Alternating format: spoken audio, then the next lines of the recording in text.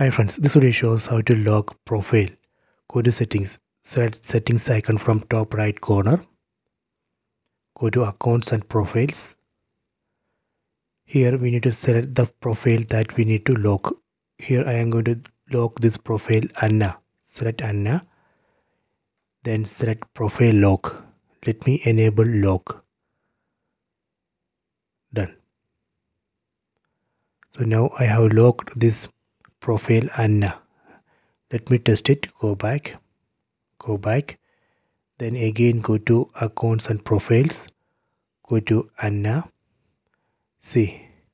Now it's locked. I am not able to see other options in the profile.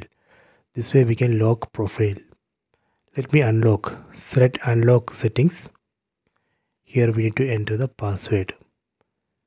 Done. So now we can see other options in the profile.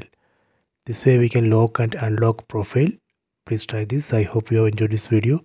Please subscribe this channel. Please like and share the video.